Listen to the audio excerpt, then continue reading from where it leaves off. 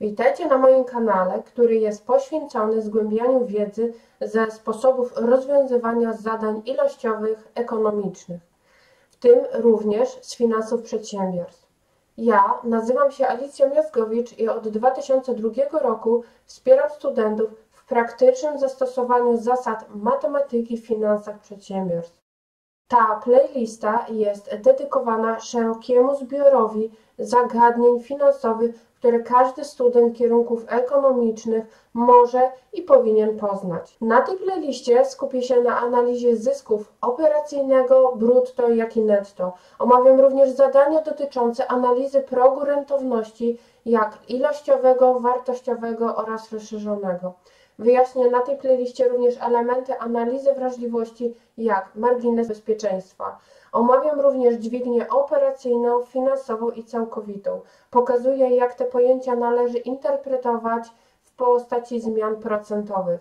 Ponadto poruszam takie tematy jak obligacje kuponowe, zerokuponowe, kredyt kupiecki, bony skarbowe oraz sposób rozliczania kredytów bankowych według stałych oraz malejących rat.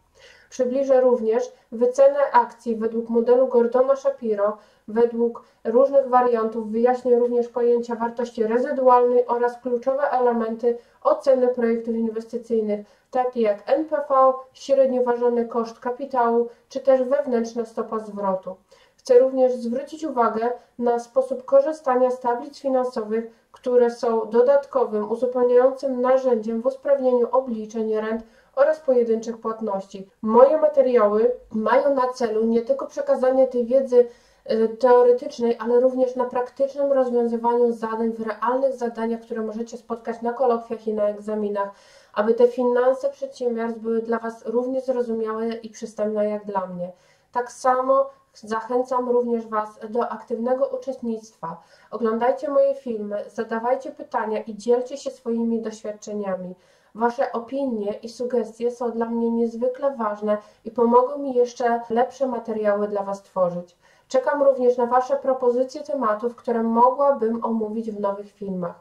Wasze komentarze są dla mnie kluczowe przy planowaniu kolejnych treści. Możemy razem sprawić, że te finanse przedsiębiorstw staną się dla studentów kierunków ekonomicznych jasne i zrozumiałe.